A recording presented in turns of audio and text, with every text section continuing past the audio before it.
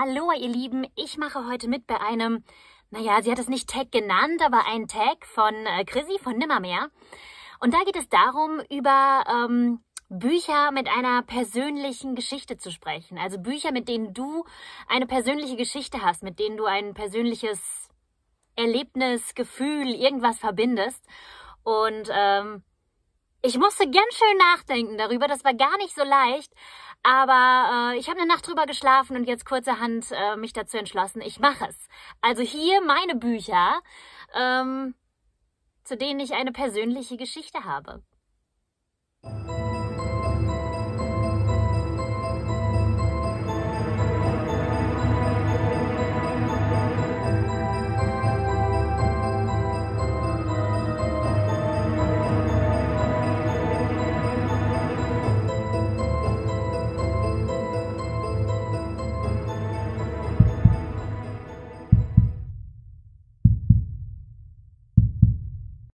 Ich glaube, all meine Leseleidenschaft, äh, ich habe schon als Kind gelesen, also als noch jüngeres Kind, aber meine ganze Leseleidenschaft ist explodiert mit, und das ist irgendwie der Klassiker, der Gänsehaut-Reihe. Das ist Band 1, ja, der Spiegel des Schreckens. Und ich habe diese ganze Reihe gesuchtet damals in den 90ern im Kinderzimmer. Und ähm, da fing im Prinzip alles an, ja, diese Leidenschaft für das Genre Horror, für Gruselgeschichten. Ähm, ich mochte schon als Kind alles, was irgendwie so ein bisschen mehr creepy war, also eher Märchen, die ein bisschen gruseliger waren. Ich mochte Hexen und so weiter. Und ähm, ja, es ist dann hier drin gegipfelt quasi und ja, hat dann dafür gesorgt, dass ich bis heute hauptsächlich äh, das Genre Horror lese und ähm, dieser Leidenschaft fröne. Und ja, das ist quasi the beginning, ja. Der Beginn einer großen Liebe, der Beginn einer großen Leidenschaft. Ich habe leider nicht mehr alle Bücher. Ich hatte sie damals alle. Ich habe sie gesammelt. Ähm, meine Ma hat mich da auch unterstützt und ähm, mir auch geholfen, dass ich dann immer den neuesten Band kriege und so weiter. Das war äh, richtig cool. Ich habe die dann, als ich älter war, mal verliehen oder verschenkt und habe gedacht, ach, das liest ja nicht mehr. Das sind ja Kinderbücher. Und irgendwann habe ich mich dann tierisch drüber geärgert, dass ich das damals getan habe und habe gedacht, wenn du die jetzt noch alle hättest, wie cool wäre das? Ähm, naja, gut. Ähm, ein paar habe ich noch und vor allem habe ich hier auch noch Band 1.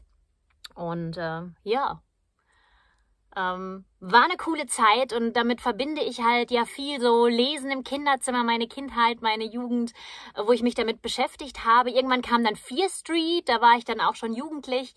Ähm, aber äh, da hörte es dann kurze Zeit mal auf mit der Leseleidenschaft. Da hatte ich einfach andere Dinge im Kopf, wie ähm, Tanzschule und Jungs und so, wie das halt so ist in dem Alter. Aber ähm, ja, damit fing alles an. It's the beginning.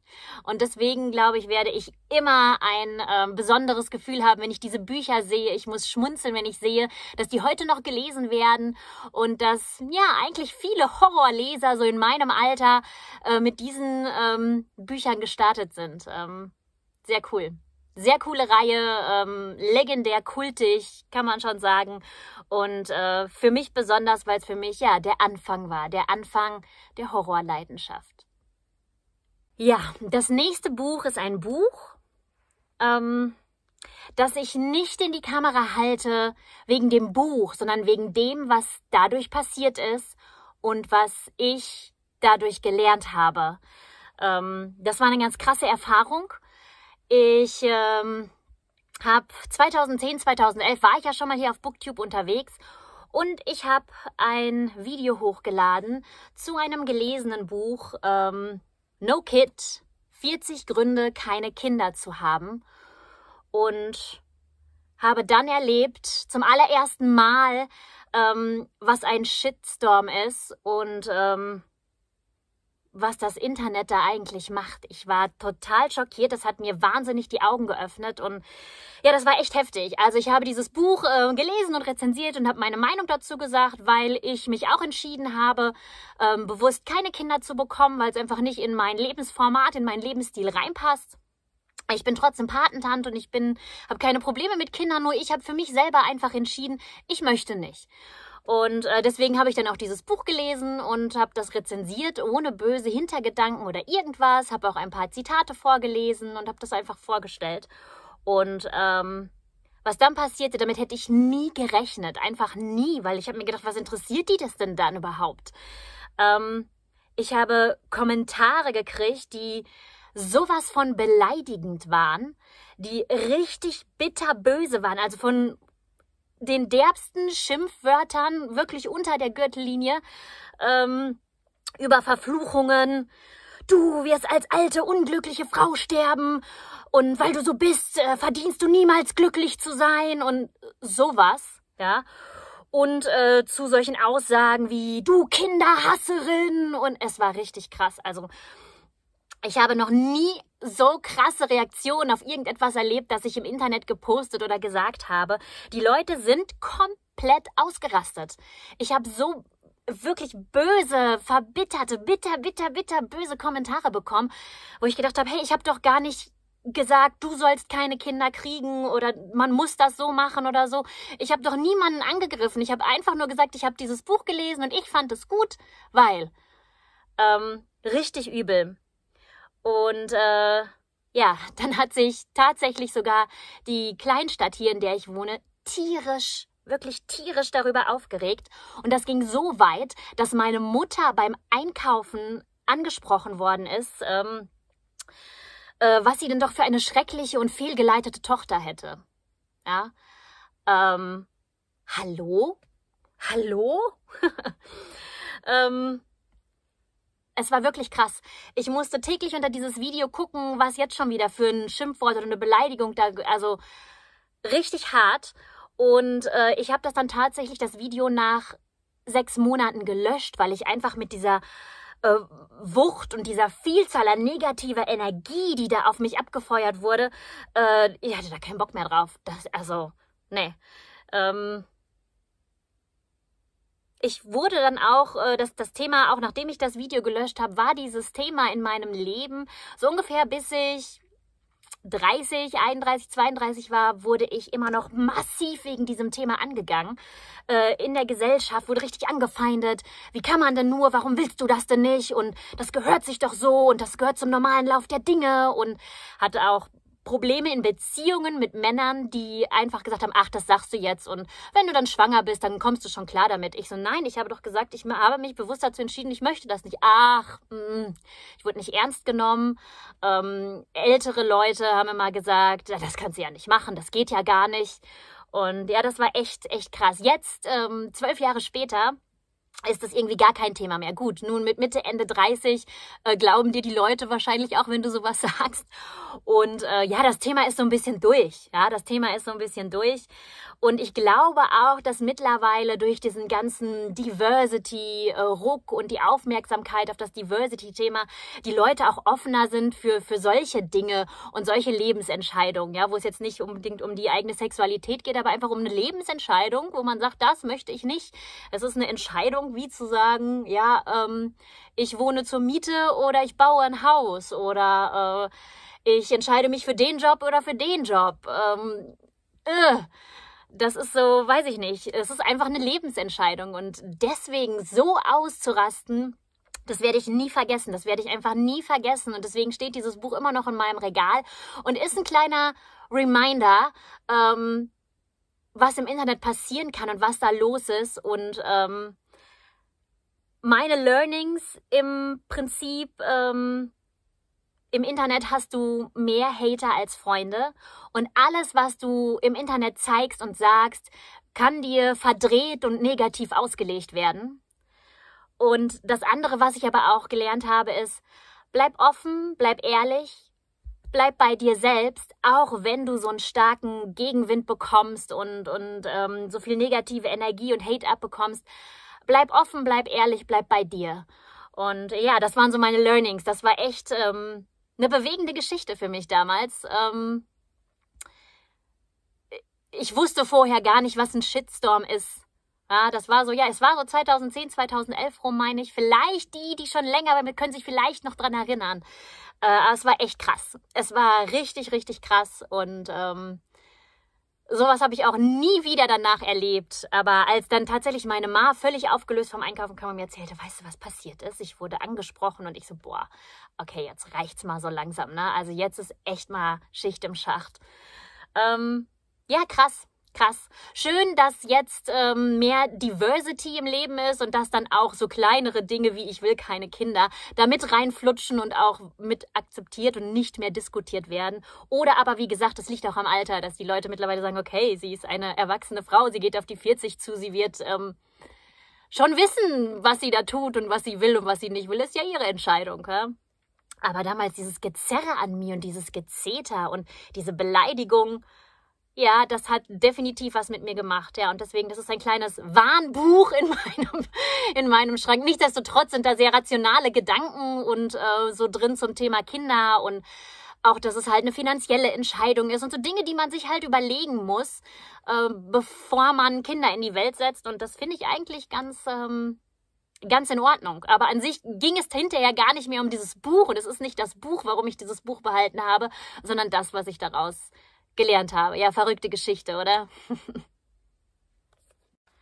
ja, und dann ähm, hat mich eigentlich über die Jahre immer wieder, wenn ich nach meinem Lieblingsbuch gefragt wurde, nach meinem Lieblingshorrorbuch gefragt wurde, äh, hatte ich eigentlich immer nur eine Antwort. Und das lag daran, dass ich in diesem Buch eine Mischung aus Dingen gelesen habe, die ich danach nie, nie, nie, nie wieder gefunden habe und die ich mir so sehr wünschen würde. Ähm, vor allem auch äh, äh, stilvoll und nicht zu flach. Und äh, das ist sehr schwierig, äh, wenn es um so extreme Mischungen und Themen geht. Und äh, ja, ich rede von einem meiner All-Time-Favorites und das ist einfach Nightwear von John Everson. Ich habe es in der deutschen Variante vom Fester Verlag und ich habe es auch in der englischen Variante äh, im Hardcover. Das spiegelt ein bisschen, so kann man es vielleicht sehen. Ähm, ja, ähm, diese Geschichte äh, ist einfach total besonders, weil sie Elemente mischt, die mir besonders gut gefallen, die mich besonders äh, äh, triggern und begeistern können.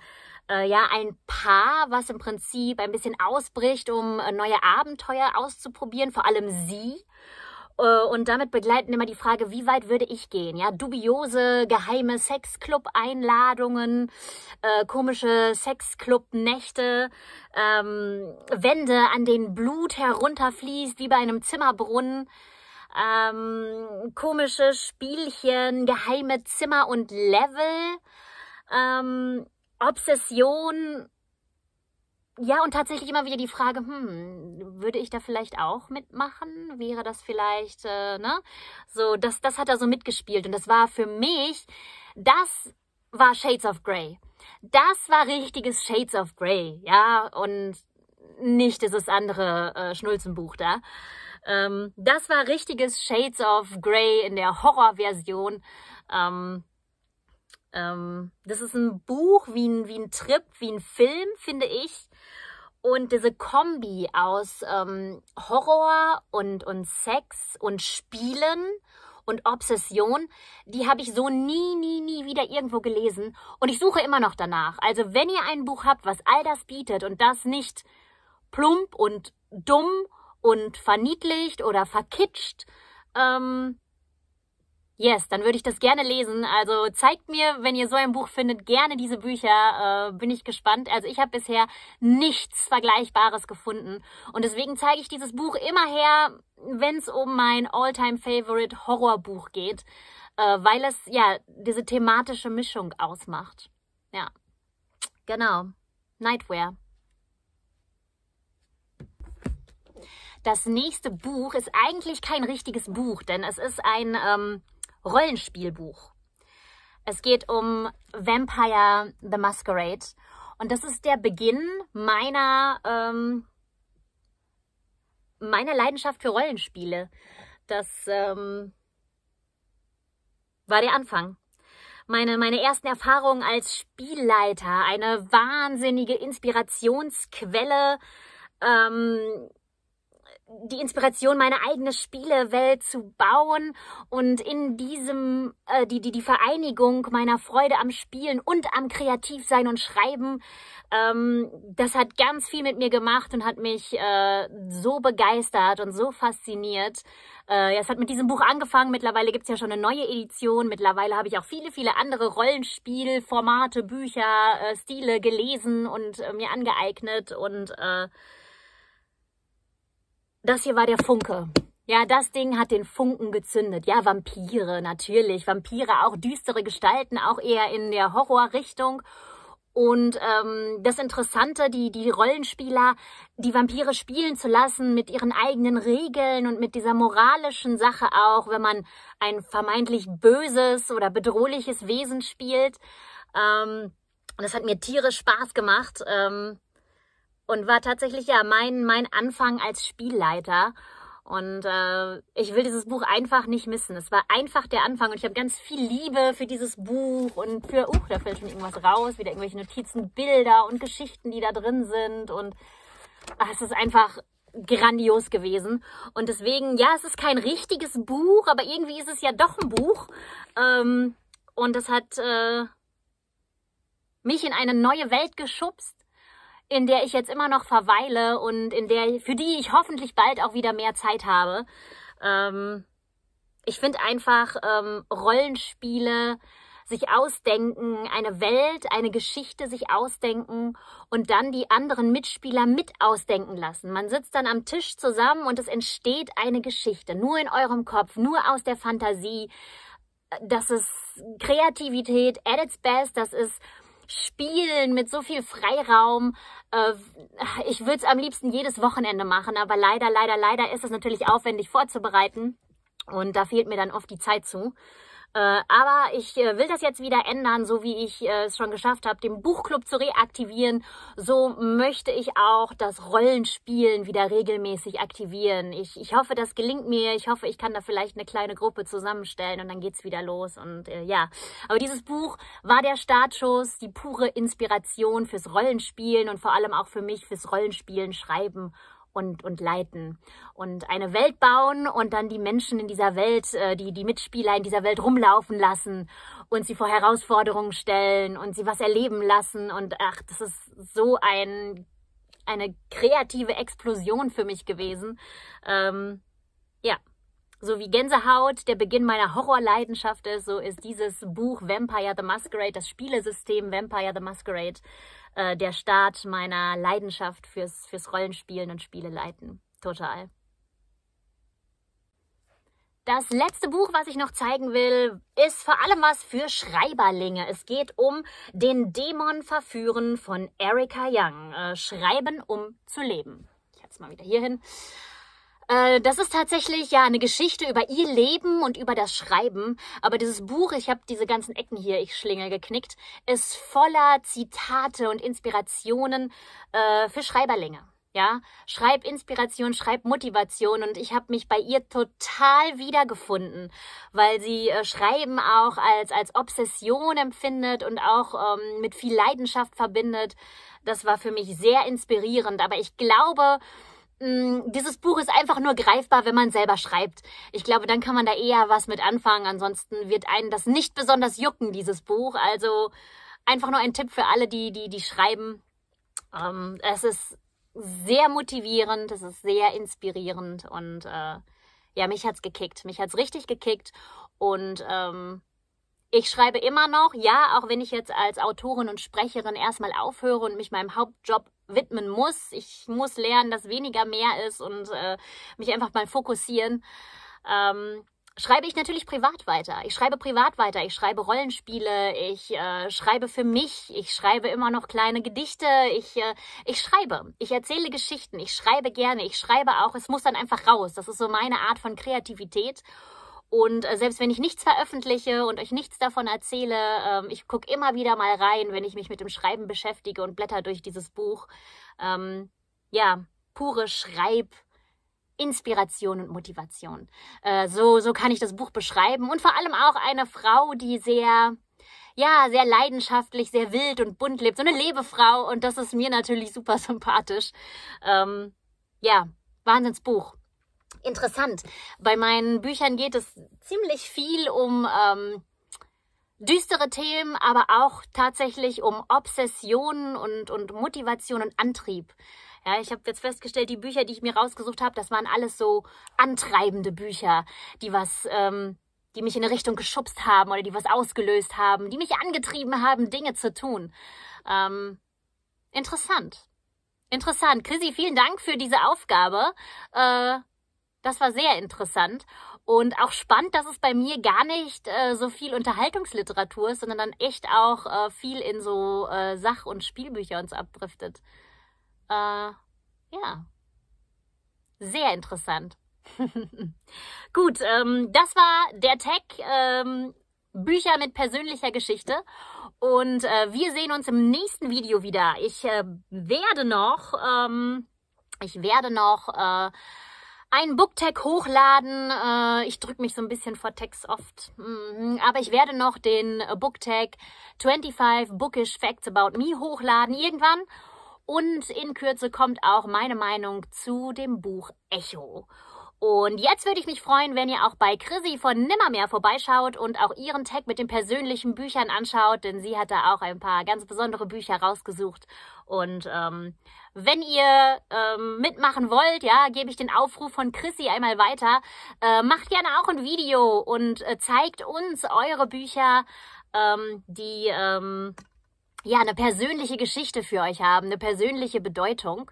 Äh, ganz egal, was das für Bücher sind. Ihr habt ja bei mir gesehen, dass es auch ganz andere Bücher sein können als nur reine Unterhaltungsliteratur. Ähm, und äh, vergesst nicht, wenn ihr das macht, äh, packt irgendwo oben in den Titel den Hashtag Nimmermehr, damit äh, Chrissy und ich euch finden und sehen können, dass ihr da auch mitgemacht habt. Und äh, ja, ich verabschiede mich und wir sehen uns beim nächsten Video.